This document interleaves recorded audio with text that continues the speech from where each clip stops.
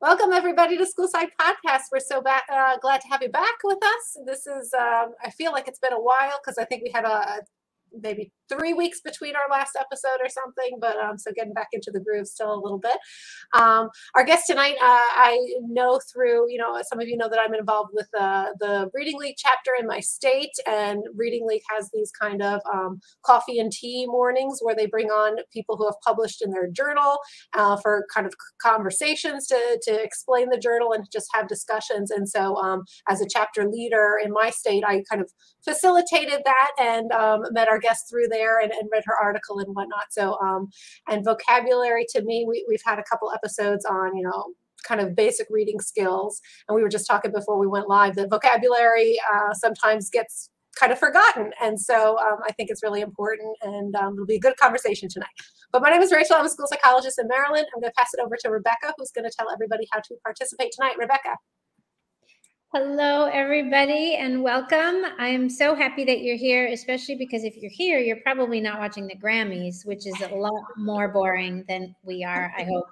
Um, so, thank you for being here, whether you're watching live or later. If you're watching live, we're going to be uh, including you in our discussion. So, please feel free to just log into your YouTube account and you can comment right alongside the video in the chat and we'll be responding to those questions and comments and experiences that you share. If you'd like to make a comment that's a little bit um, more removed from the video itself, you can comment on Twitter using the hashtag psyched podcast and you can at podcast psyched us on our twitter page or you can also comment on either of the facebook pages our school psyched podcast page the dedicated podcast page or school psyched your school psychologist you'll see the posts for tonight's event on both of those facebook pages and we're just looking to uh, looking forward to hearing from you anytime even if you're watching or listening on audio um, uh, versions later in time. We'd love to know what you think about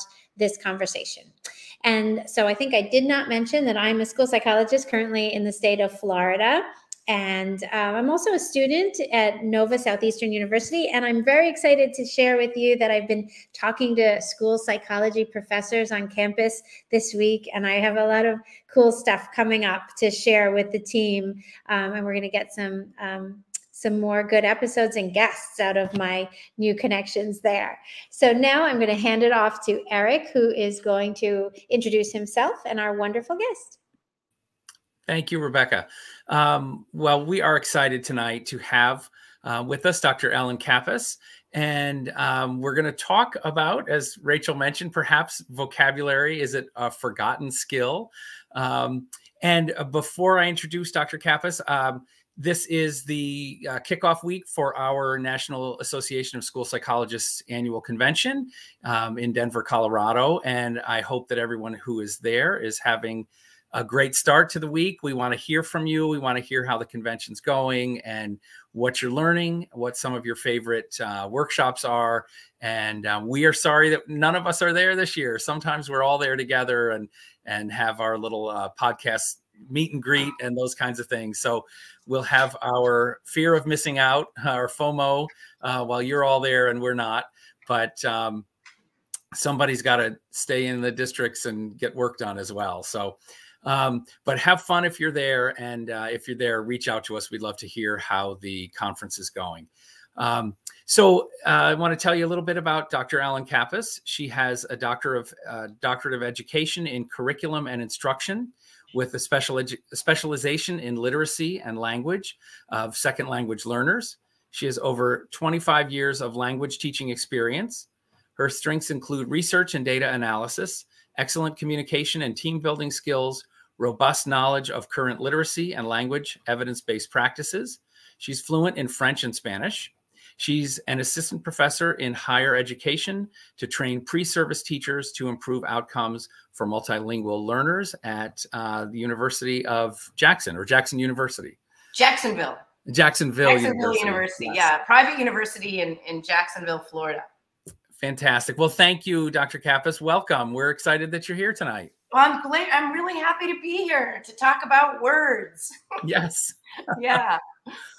Well, let's start out uh, with that little uh, little mysterious introduction about forgotten vocabulary. Tell us about what's going on with uh, the current state of perhaps vocabulary assessment and intervention.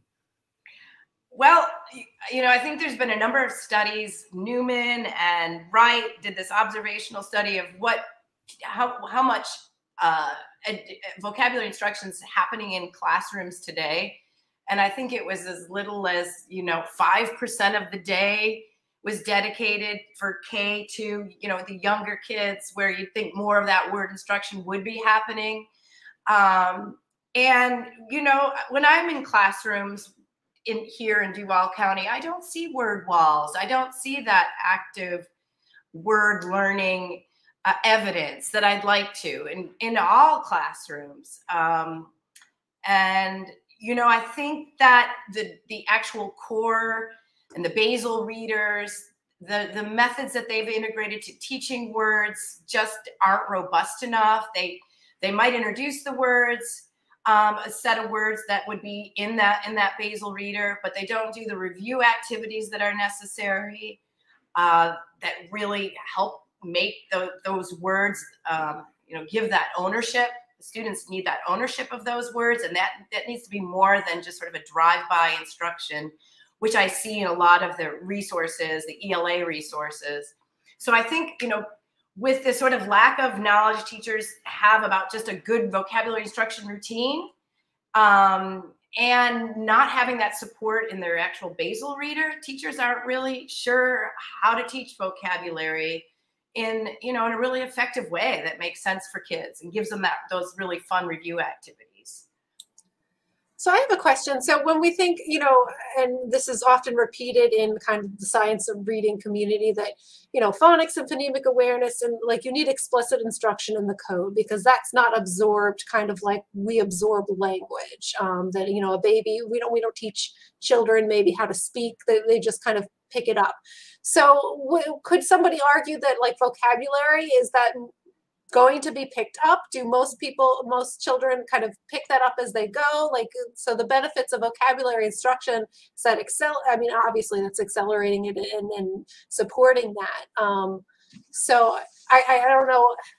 Yeah, I mean, through oral language and background knowledge, right? Yeah. I think there's like a super high correlation between background knowledge and vocabulary, right? So you're going into a supermarket do you know the names of all those fruits and vegetables? You know does your is your are you do you have that sort of interaction um, with an adult that's teaching you these words that um, you know some of the words that often are missed are some of those abstract words like prepositions. I remember the first time i realized my first graders didn't know the difference between before and after.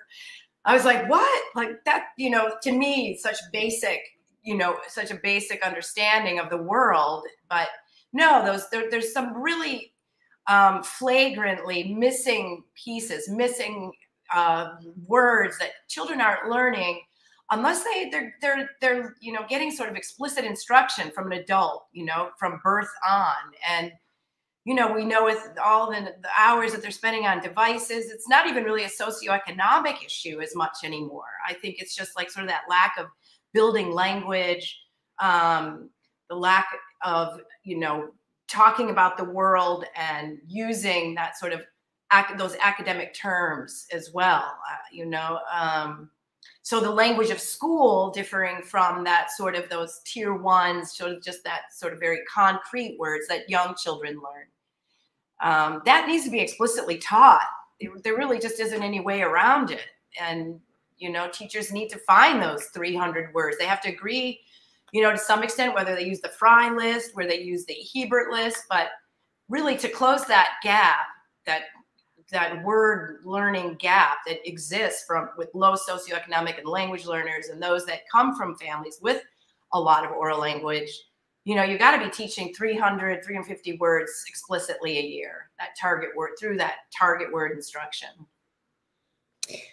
I have a question. I, am not, this is not my area at all. So this may be like a really dumb question, but um, those in those early grades, they're learning um, like their spelling words and spelling rules how far and i know those words have to be simple and like you know start with cat and hat and you know all that all the rhyming words but how is that how is vocabulary instruction kind of not built into that same program they may not be spelling words like sunrise or or whatever but um are they completely separate or are they sort of are, are the should the instruction be like on parallel tracks somehow no, I think what you're talking about are what we call like sort of the root words or base words in English. You know, those CVC words that children start learning to read.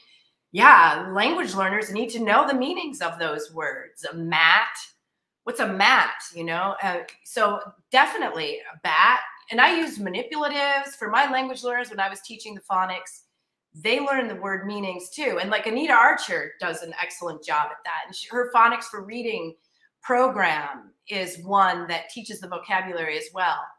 Um, and yeah, I just recommended that to a student. She's going to be using it in her her internship um, for a little intervention. So yeah, that's a good question, Rebecca. Those words we sometimes don't, you know, those need to be taught, especially for our language learners. Um, but we like to focus those 300, 400 words, sort of that those high frequency, less known words um, is how we look at them, sort of like tier two minus, not super sophisticated. But if we look at the fry list, Patrick and I would then look through and say, yeah, like a word like produce or a word like portray, or, you know, once you get up into the higher grades. And then we, we would have, you know, uh, look at where a kinder, you know, what are the words for the kindergartners? What are the words for the first graders? And, you know, we pretty much did that work and created those word lists. And, you know, the teachers that we worked with tweaked them and added some content words, character traits. They added some math words, you know, those prepositions.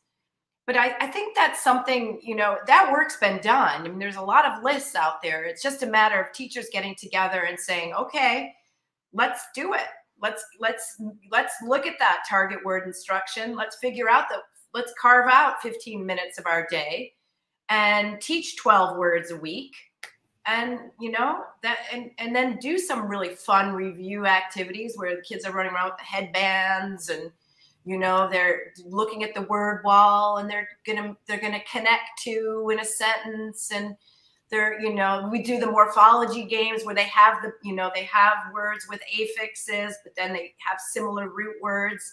They have to find their little team of you know the the the, the root word. I mean kids just grow into little word wizards when you're actually giving them these opportunities to learn words and, and review their meanings in fun ways like that I love the term word wizard. I know they do. Like on the playground, you hear them starting to use the words, and that's really that that um, when the teachers in our studies heard the students using the language, the words that they were being taught on the playground, or they saw evidence of it in their writing, it was really like fidelity to the intervention. They were just so excited about teaching vocabulary. That's and, amazing. Yeah. Do you think this might be the result of curriculum issues or teacher training or uh, yeah, maybe a little of both? Yeah, I think so. I think, you know, in the past, we didn't really know, you know, the number of repetitions it's it takes to learn a word. Um, we didn't, you know, there weren't studies about that. We, but now we do know it's 12 to 24. You know, I mean, we know that it it's significantly uh, quite a bit of repetition and use of these words. Um, it could be that, you know, um, and it's definitely missing in curricula. You know, I mean, there aren't, it isn't really evident, a lot of them that I've seen, really robust instruction. Um, and, you know, things get presented to teachers that really aren't research based, you know, graphic organizers, um, and they think that that's what they do. And then there's just sort of like that emphasis on spelling you know and a spelling list. And and that's kind of where we've been not so much in in in really expanding our vocabulary and looking at it through that multifaceted approach you know strategy which would be the you know the morphology and then the target word, which is really that sort of quality, and then the quantity, the word flooding, where you're looking at teaching uh, a collection of words in a really specific thematic exploration, um, building on kind of Camille Blachowicz, you know, virtual field trip, where you're building that poster and you're building uh, a month of discussion around the habitat or around, you know, works really well in social studies and science. You're building um, knowledge at the same time. You're you're you're exposing the students to all this uh, vocabulary in that in that content area. So looking at it through those three lenses and having those that three pronged approach as a teacher, yeah, no, I mean, I think it's just us in our studies. That that's the only time I've seen it. I think that as school psychologists, we don't really do too much with vocabulary. I know that uh, so many of our, our referrals reading referrals and learning disabilities and whatnot, you know, frequently we hear teachers that, oh, the comprehension, they don't understand what they're reading. It's usually, you know, they don't focus in on vocabulary. And it's just kind of interesting to me that that's a, such a common referral lament is, but then teachers are not teaching vocabulary or not and, and school psychologists. It, it, it was interesting too. Um, there's an intern in my district who reached out um, to ask some questions because she was going to run an intervention on on vocabulary that it was middle school kids and working with uh, the content level teachers to kind of pre-teach sets of words to help them better access the lesson that was going to be for that week or that day or whatnot. Um, and I thought that was so cool that she was able to do that and was doing that. I'm assuming it was part of her coursework to, to run kind of a an intervention. But as school psychologists, I feel like, yeah, we, we rarely get pulled in into that. And it's usually in the context of like, oh, we're testing for a learning disability. And then, yeah, people kind of forget about vocabulary. So if I was a school psychologist and I wanted to kind of get into this a little bit more and work with some kids that were identified as, as needing intervention in this area, um, what type of strategies? I mean, you, you mentioned some already, um, but if I have a list of words, what what what what is a lesson going to look like, kind of, so to speak? Well, like the target word. So if you're looking at you know target word instruction, there's the seven steps, right? So you have the image of the word. You're gonna you're gonna use the word in a sentence if you can, like if it's not a kindergartner or first grader, you know, if it's a second, you know, if they're reading you want to kind of show them the word in the sentence.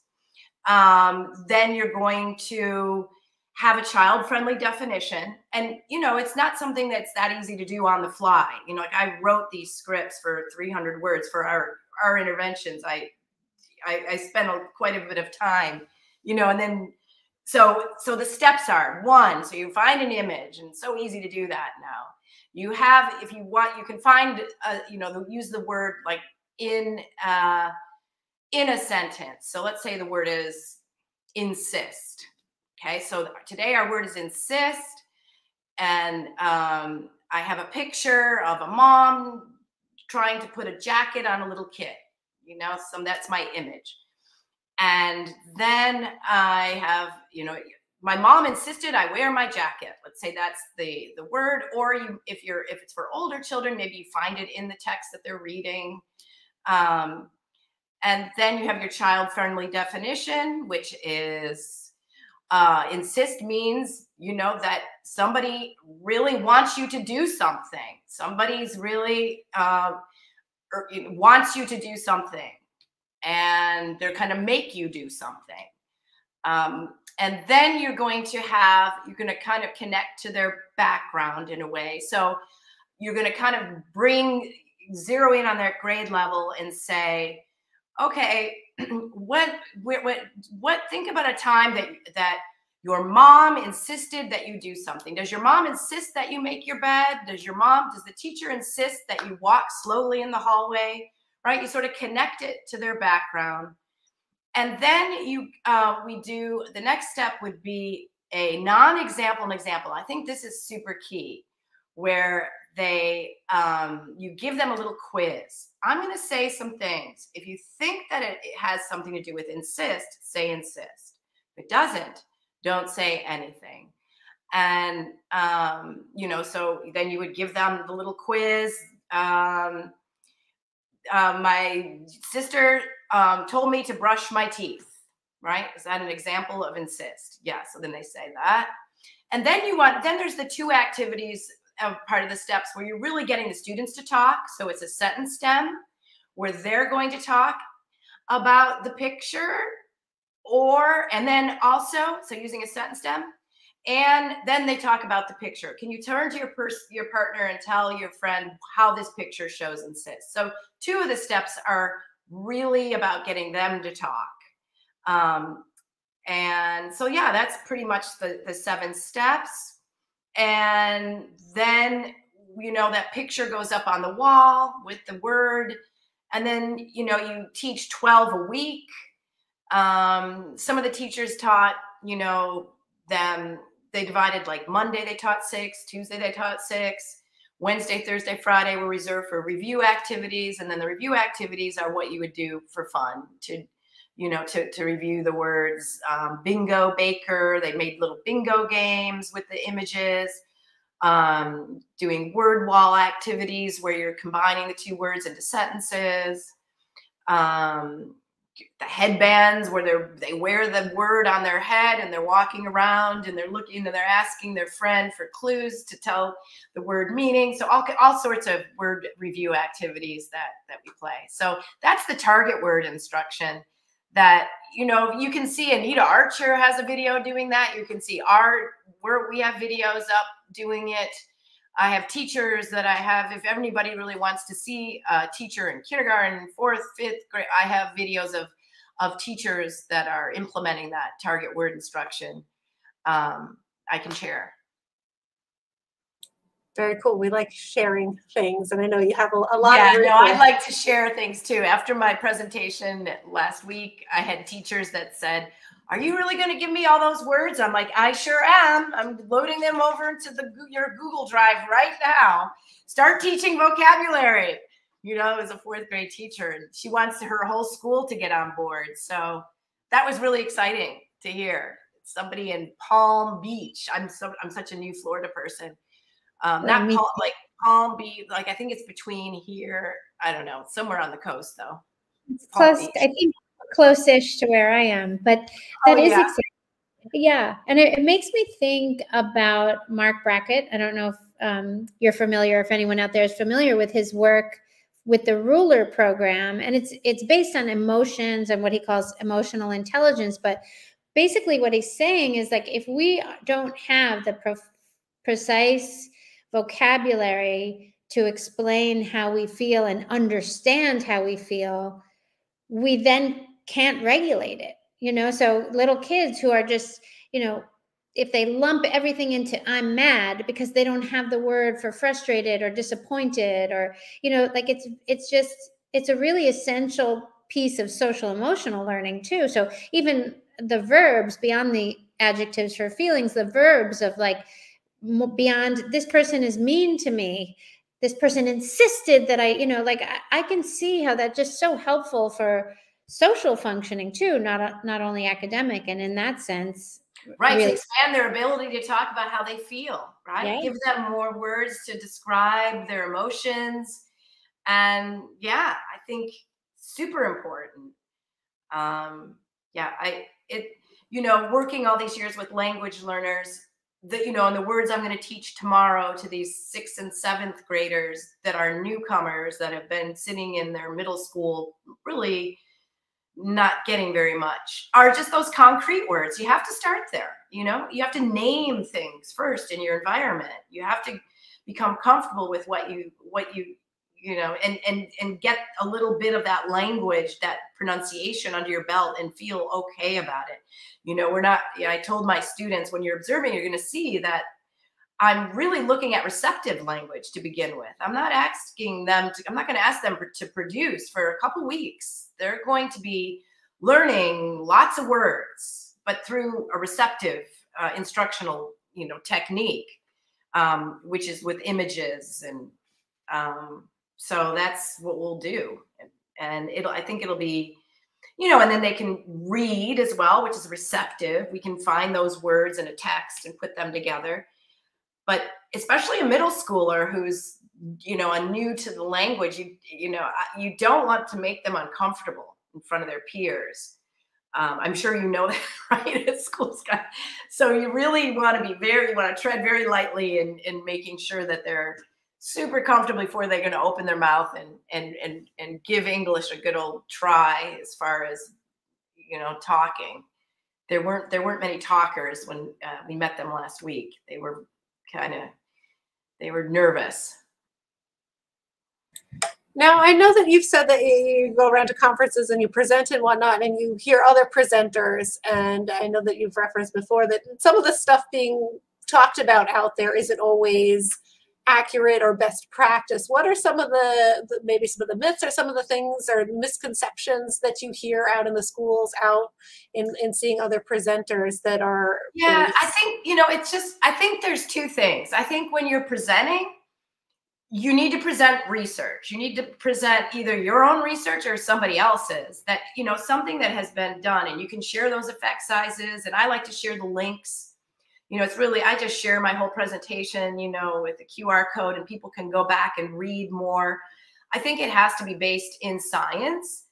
And then also it has to be something that teachers can then take back and do. Like if it's just sort of this abstract idea of morphology, I went to a few of those where I think the presenter was really excited about morphology and the origin, the etymology of words and yeah, but but but what does that mean for kids? And how do you know how how do you move from, you know, you know that body of knowledge that you're sharing to the classroom where a teacher can just pick it up and and do a lesson and you know and have that succinctly you know so i think that you know in conferences that at the conference that was probably my biggest some of the some of the some of the uh, presentations that i attended that just didn't have that thought out either they really weren't based in science they weren't really based in research or they weren't really thinking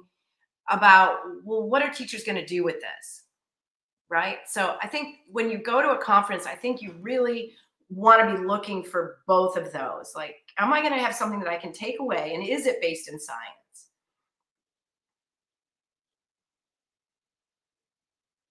Yeah, we had a discussion in our last episode about precision teaching.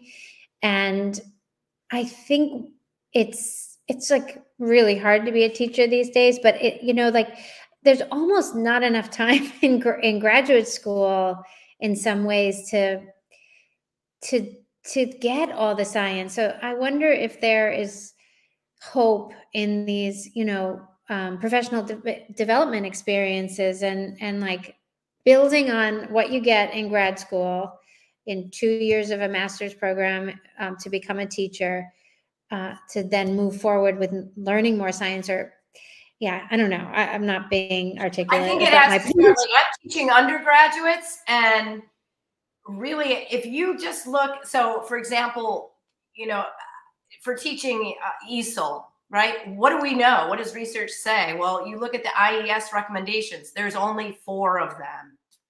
You know, there, you don't look at second language acquisition theory. They're all theories. You know, if I want to look at what works in the classroom, I'm going to start with what IES recommends.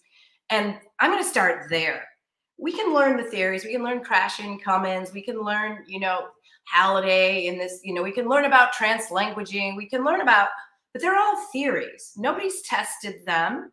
But in that field, they've just gotten away with it for years. Just be that's what that's what you learn. If you're going to get a master's if you're going to get an undergraduate degree in ESOL or TESOL or whatever, you know, everybody calls it something else. Um, you get that regurgitated in one class after another instead of this class is going to teach you how to teach vocabulary. This class is going to teach you how to teach academic language. This is going to teach you how to write a language objective for content. And that's that's how I'm going to do it. I'm going to divide this program because I pretty much can, I guess. I mean, I'm just going to divide it so that it's practical. And then, and then we're lucky with with literacy because we're, we have Mount St. Joseph, we have schools that are helping higher ed professors align their courses to IDA and they're giving out the syllabi you know, uh, uh, on on their so in the in the science of reading and teaching in undergraduates, I think we you know there isn't really any excuse for not getting that science out in front of students right away and not admiring the problems. We're not looking at the debate. We're not looking at the. We're just looking at what works, and we're moving quite quickly from phonological awareness, what it is, to how do we teach it. I mean, I'm going to give my students a quiz this week on sounds. You know, they're going to have to. I'm going to give them the grapheme, and they're they're going to have to give me the sound. You know, I mean, we're moving really practical, and I really have hope that you know higher ed is is transitioning to that. Um, instructional rounds. You know, my students are going to be able to see me teaching these sixth and seventh graders this week and observing, learning the theory, you know, the well, the theory and the practice and the, the actual science behind it. And then actually, you know, and then they'll be able to give it a, you know, gradually releasing it to them. So in the semester, they'll be able to be teaching students as well. So, you know, I think Rebecca, we we've just like missed, like I think a lot, there's been a lot of wasted time in higher ed for for people.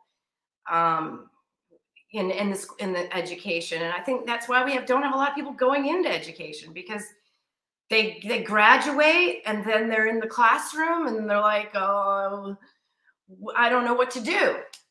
You know i don't know if if anybody else has that experience out there. I mean i worked with a first a second grade teacher last year um, in wyoming.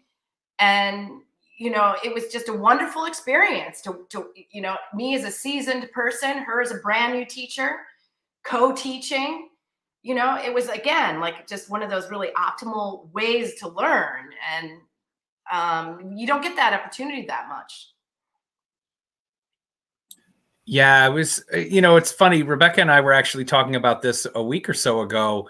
Um, about behavior and classroom management as well and how beneficial it would be for veteran teachers and new teachers to to co-teach. Or we have a model when we're learning counseling where we have you know an in-ear um, microphone and a, a seasoned uh, counseling professor is is watching us through video or you know a two-way window and they're giving us suggestions saying you know follow this path of the conversation or um, or go down this this direction with the client.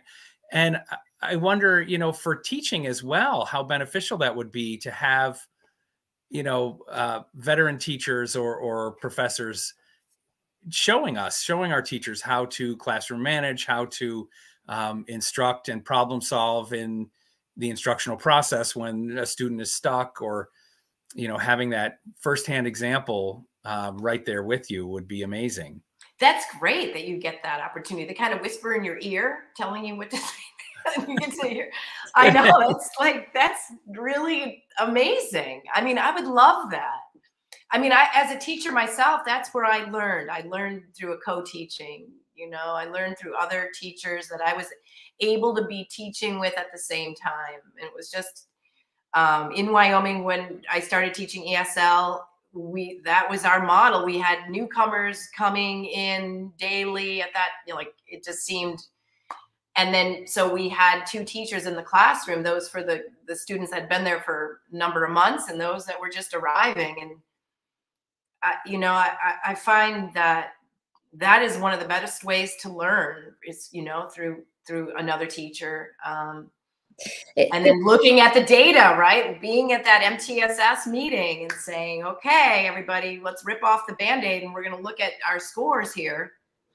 Yeah. And, and, I've been at meetings like that where teachers have looked over at one of their colleagues and said, what did you do?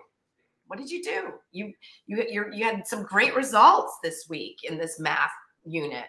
Yeah. How did you how did you teach it?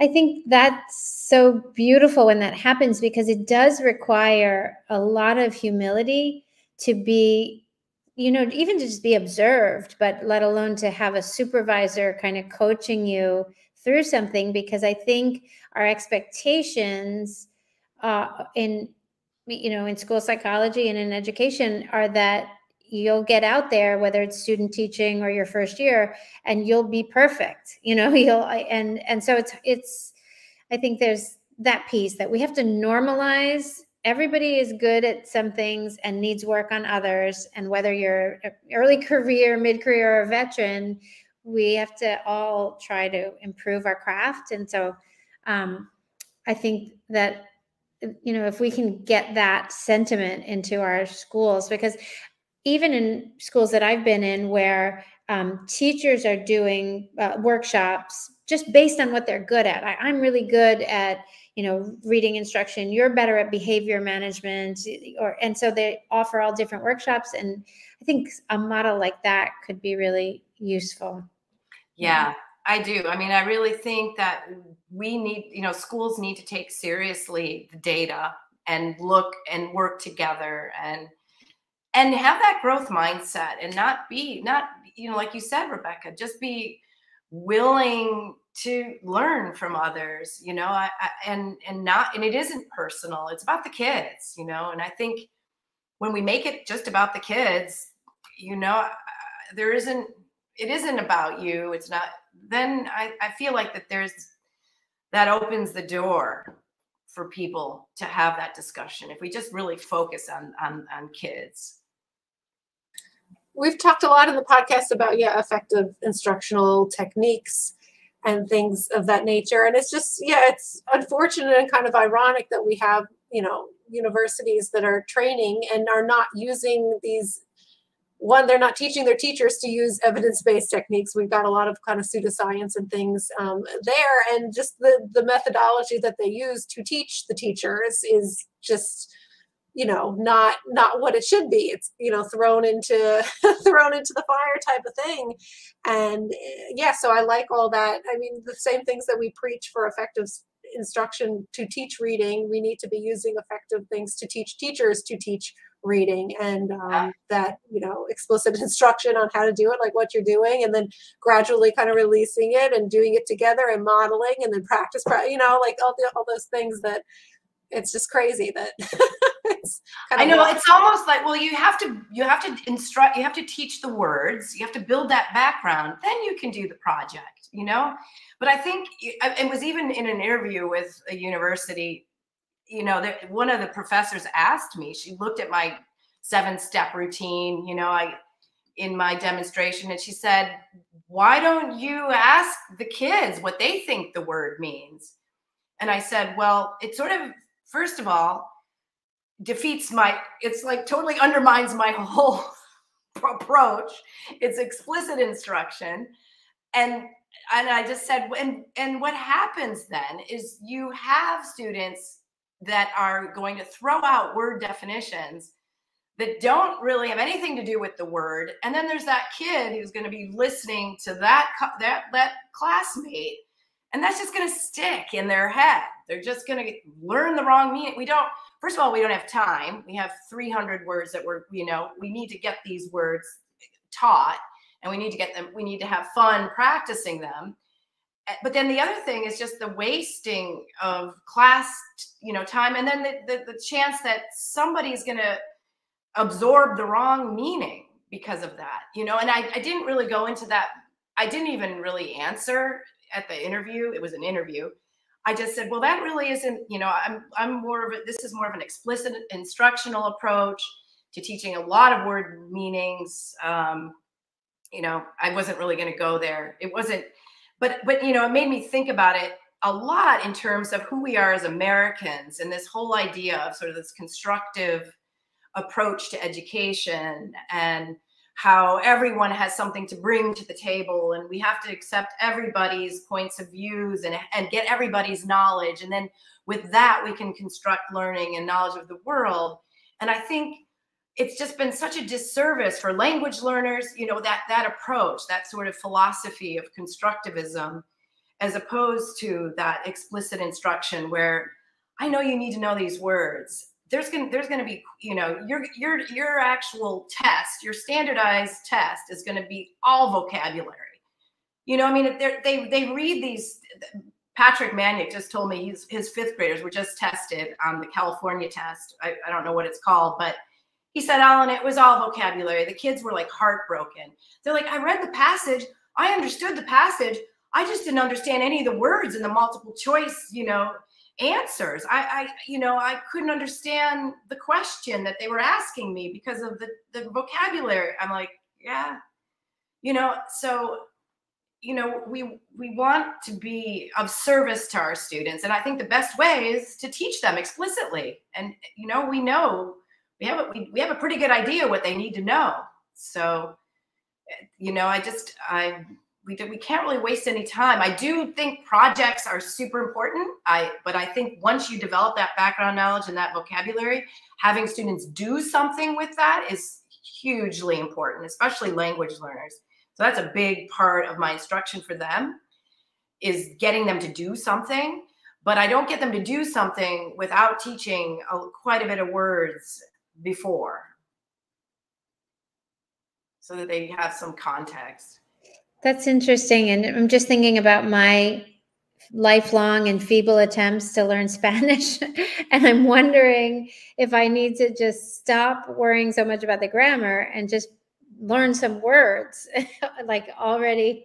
Um, yeah, I mean, unless you have 250 words, you really aren't going to be able to make a sentence. You can't, you the syntax doesn't, I mean, you can learn some greetings, right? You can, you can say how you know how and i you know i need to go to the bathroom or do, where do i go? You can ask some simple like social questions but you're not going to really be able to talk about what you're thinking or until you have quite a bit of vocabulary under your belt. And then you can introduce the syntax and have you know so that's kind of how my approach for these you know you're just we're just going to focus on learning a lot of words and have fun doing it, you know, through TPR, moving around, um, lots of games, um, image games. So, you know, and, and having them whiteboards and having them write the words, you know, that kind of thing until they get quite a few of them. You're right. For so Spanish, yeah. I mean, that's why those Babbel apps, like if you want a really good, if you want a good program for learning, I just recommended this one for my friend who wanted to learn Spanish. It's Pimsleur approach, and you can do it. And it is like at first I was I was trying to learn Kiswahili. I was learning Kiswahili with it because I was going to Kenya and doing this teacher training. And I'm like, I first I was really skeptical about it because I was just doing it in the car, and like you would just repeat what they said over and over, but it, it was working like it was actually working. The way they introduced just a few words at a time, and then, you know, then you would go back. And my friend's doing, she's doing a wonderful job learning Spanish that way. So it's an interesting method where you they introduce a little bit of the language at a time, gradually, and then they go back and repeat. It's kind of interesting. I would check that out, Rebecca you mentioned before kind of the academic language and you know we talk about that uh, like like the BICS and the the CALP uh, uh, cognitive academic language proficiency. And um, I think that teachers a lot of times with with ELL students they yeah they don't realize that there is maybe a vocabulary deficit or something there because maybe socially the child can have a conversation and can go back and forth. But I think that people don't realize that yeah, when you're reading the science textbook or talking the social studies lesson, um, that there's a lot of academic stuff in there that is just, and like you said, like your students that didn't know before and after, like yeah. that, that you might not pick up that there's something like that, that there's a misunderstanding there in just talking like, hey, how's it going? How's your day? You know, yeah. thing. So, yeah. yeah, the academic vocabulary is really important to know that academic vocabulary is two things. It's the vocabulary but it's also the syntax. It's also how we construct the language. It's it's those two pieces. And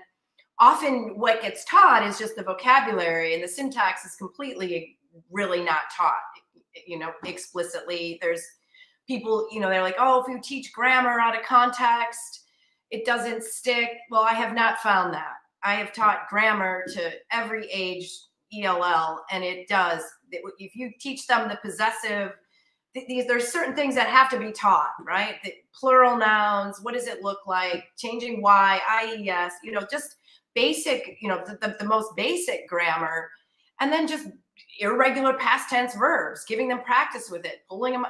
That that needs to be taught to these these language learners at the same time uh, as the vocabulary. And that is academic language and and you know, I, I really like the work of Jeff Zwiers at, at Stanford, what he's doing with ELLs and that oral language and the sentence stems and having that practice, that oral language practice that he does in his situations, and all of, all of his work is available on his website. Videos of language learners of all ages. He works mainly with the older, like middle school. But it's amazing to see their sort of academic discussions after being after it's been modeled to them and then they have their supports of their sentence stems. And you know they they know exactly the turn taking that they're going to do and they have those that clarifying language. They know what they have to say. They've practiced it. Um yeah all, all of those pieces that academic language oral language that needs to be practiced the teaching of grammar and the teaching of vocabulary you know, I mean, those are those language objectives that anybody in the United States that's teaching in any content really needs to be aware of if they have large numbers of language learners in their classroom. Nobody, you know, if you're a native speaker, you're not going to be hurt by that instruction. You're not, you know, you you see that it's up there, you know, on the board, you know, um, you, you know, with those critical measurable verbs that always begins with that, you know, and um, you know if you're learning language forms and grammar at the same time as history in, in your history class or your science class it's it's not going to really you know it's just not going to hurt anybody but it's going to really benefit those language learners. I like that because i i feel like there's a perception that yeah that a, the language is just it's immersion. That's that's all it is that it, you you'll you'll pick it up when once they're in it. And um you know this in education, this tendency to push against this ex- explicit instruction um, is kind of a pervasive thing, like for whatever reason. And so, yeah, I'm picking that up as kind of a theme as we talk to more and more people um, about some of this stuff. That, yeah, what you said, explicit instruction, it's not going to hurt anything, and it's going to benefit, you know, people uh, that you that you don't even know, like who, who you know, you can't figure out who's going to who really really needs this. Um, so it makes sense to just give it to everybody. Just give it to everybody. That sort of thinking aloud, those queries when you're reading. I'm doing that with my students in higher ed. You know, I'm like, okay, I'm gonna let's I'm gonna start reading this practice guide. Let's open it up. I'm gonna read it out loud. You're gonna follow along with me. I mean, they were honest. They said, I, you know, I'm like, do you want a choral read with me? But I would never do that popcorn reading, even with somebody at that level, you know, an undergraduate, they're not going to feel comfortable and and you know and so then reading that aloud and thinking aloud and knowing what's going to maybe trip them up or that they might or or or stressing what i really want them to know. And by rephrasing it going back and rephrasing it you know i don't do you see that much in classrooms? Do you see teachers modeling their thinking and that choral reading and getting you know I, I mean, I think that's comprehension I, and teaching kids, uh, you know, to, you know, pre-teaching those vocabulary words and then giving them that opportunity to, to, to hear you think aloud as you're reading and you're monitoring your comprehension and um, giving them that ability to, to kind of watch you do it. I don't see enough of that. I haven't seen enough of that in classrooms at all. And I, you know, I, I, I wish I would see more of it. When you're choosing these, you, you talk about, you know, 12 words a week, like 300 words um, in, in a year. Um, when teachers are choosing these things or, or, when you chose, you know, the words for, for your studies and whatnot, um, so these are grouped how are they grouped like how, how are you choosing what's what what are the good 12 words. Are these all words that are related? Are these all words that are coming up they're really not related. I mean you know i'm thinking most our most recent study was the kindergarten study. So when i think of those words we, we sort of you know like um but but not really. They weren't um they weren't really related too much. You're just teaching them these were i mean to, if you could get them related more like i mean i think there were some that were like more math you know that so uh, form you know um, i'm trying to think of some other ones like i know form and we got like um you know, some of those prepositions in there at the same time. But it's really, you know, for the we really did choose we we looked at the fry list so the most frequent words you know he's got like 500 right or thousands you know so you looked at we looked at that the, the fry list we look at Hiebert's 400 word families so between those two lists and then the academic word list kind of like looked at all of them and um, chose words that you know were high utility at that grade level and just less known. Um, and we also aligned it to Fry and Rasinski have this book, this fluency book, these series, this series that is amazing. And they've done so they chose these words. And so for the fourth and fifth graders and the third and fourth, that that third grade study, we used that Fry, we used their list and aligned it to their fluency passages so that it was a the student teachers could use those fluency passages They were already written and those words are there. So that's another great resource for teachers. And I, they have one for every level. Um, it's um, fluency, what's it called? They're Fry and Rasinski's books, fluency, high frequency words through fluency. I can't think of the titles, but they're they're out there and they're not expensive. And so that's that was really nice to align it to that. Our second grade teachers didn't like those passages and they wrote their own. So in that intervention in the dual immersion um, school, they ended up choosing those words and making little passages with them. But yeah, no, Rachel, that's a good question. I mean, that, uh, the other, the word flood, the second, you know, uh, the second component of our multifaceted approach is all thematic. And those words we don't teach with such intensity. You know, they're up there on the board with our picture. We're reviewing them in video and read alouds and in when we're we're talking about that content, but we're not teaching them using the seven steps. So those those though we we really there's those words there's other words that I'm thinking of are like those connectors like although like that would be another word that would be fall into that target word list. Words that are academic, high utility, less known. Um, so yeah, I mean, you can look at, if you look up at our, our study, we have examples of those words. If you're interested, I can give you the, uh, the copies of them for the different grade levels, the words that we, we used with our scripts. I totally want them, yes. okay, all right, I can, I can share them with you, yeah yeah because it's something that it's the teachers definitely read the scripts you know it wasn't um, as if they were gonna just um, if you have a word produce you know that's another great tier two sort of child friendly definition finding the image finding the example non-example all that takes time. It's not that you can't really quite do it on the fly.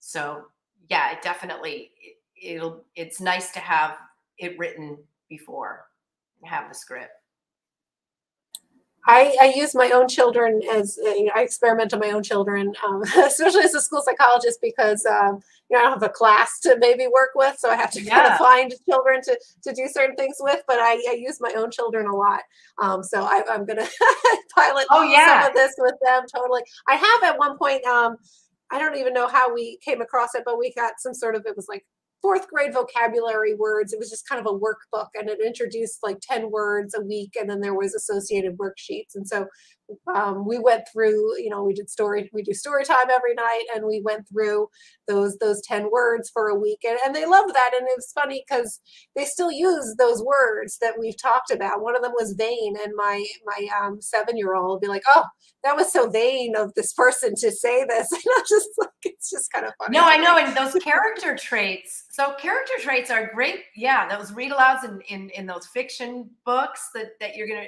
definitely pull out the character trait, right? You're not allowed to say sad or, uh, you know, you're not allowed to say sad or happy. Use a different character trait. Um, yeah. And really, yeah, I mean, you can just print them out on little sticky notes. It's funny because, like, my kindergartners, I have a really good video of them playing Go Fish with character traits like timid and um, in, you know, inflexible, you know, these multi-syllabic words. And I had the little pictures of those character traits on the wall with the words. They're not quite reading, but I wouldn't give them. I'd like, okay, you know, they could just look at the first couple letters and they'll get, they, they, they would remember them. You know, they, it, it's amazing. So definitely print, there's research behind that as well. Like even, you know, pre-readers having that word up there um, helps. Like that, so they'll look at whatever you know, the first sound of the word, the first letter, whatever they're able to, or the last one, and and be able to to remember the word, you know, with the image. And yeah, that, that using the image really important. And now we know with brain research that dual processing theory, or, or, or they've actually found more evidence behind it that it really does help us remember you know, having an image associated with a, a concept.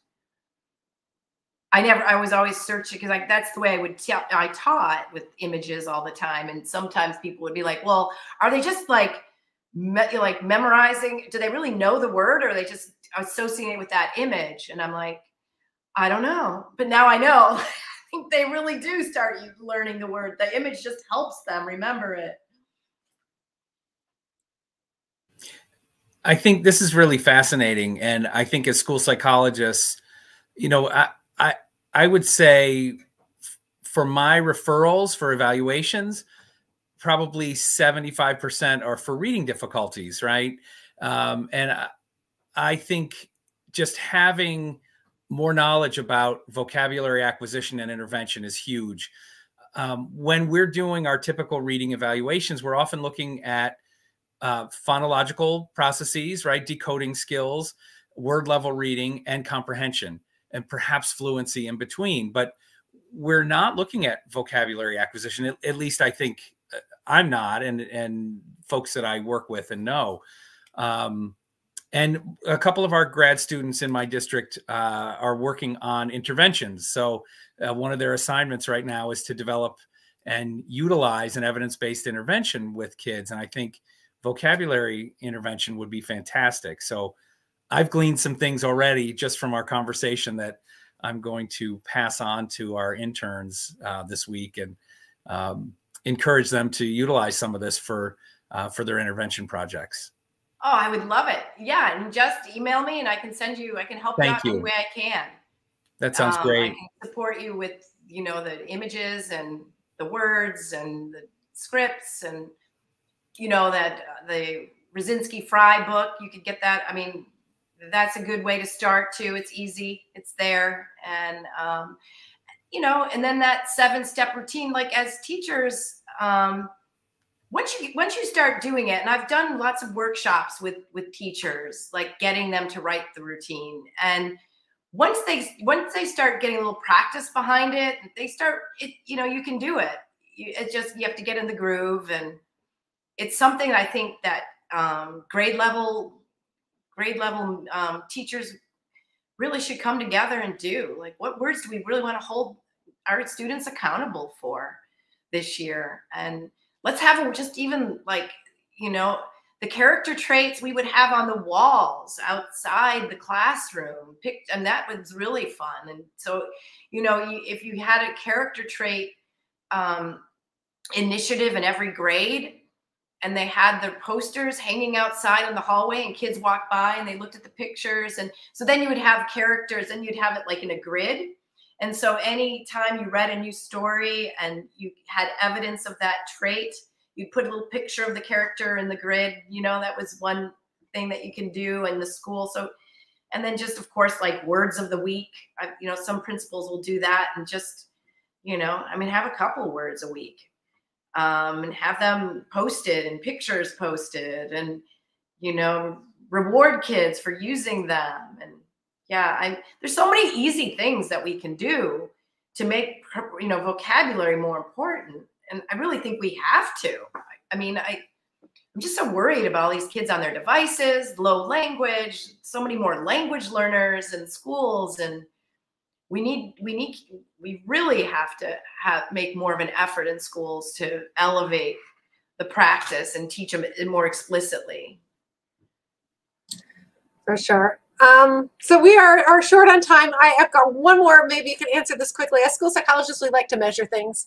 Um, and so I'm thinking like if I wanted to see where a child's vocabulary was, I like I'm aware of like the core um, part of the core book. Um, there's a core vocabulary assessment.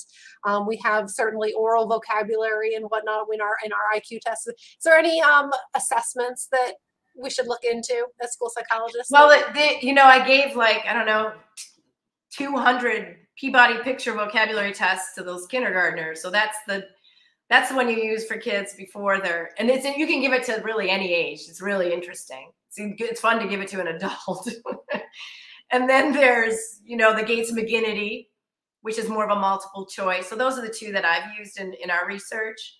Um, and then you know I mean just curriculum based measures that I would create. You know, I use Nearpod a lot. So just four, you know, I kind of replicated the Peabody picture. You have four images and give them a word, you know, that sort of thing. You can create your own.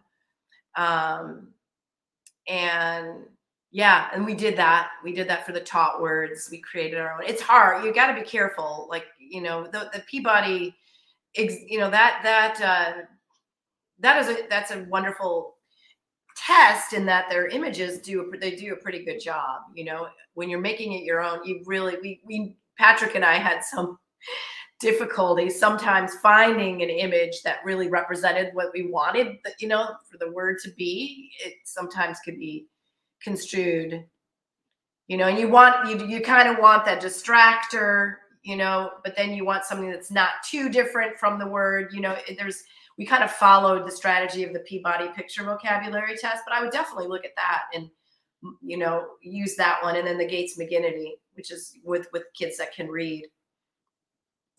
Awesome. Thank you so much for coming. This is this was great, and I, I I think that yeah, we were overdue to have a vocabulary episode. We've talked a lot about some of the some of the other skills, and it's so some important. the other components of reading that are so important, right? Yeah. yeah for sure. Um, I want to remind people. Let's see. I think the next um, podcast that we have scheduled is three five on ADHD, so that would be good as well. And I want to uh, throw out there that we're talking and trying to organize um, as a podcast um, a book study on Dr. Uh, McClure's um, Hacking Deficit Thinking.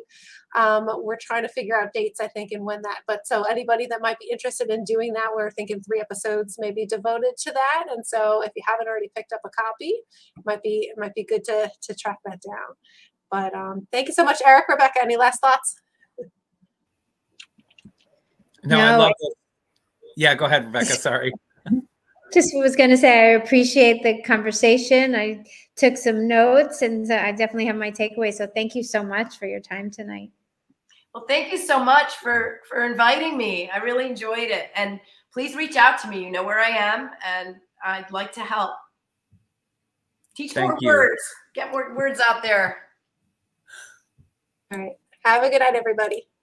Bye bye.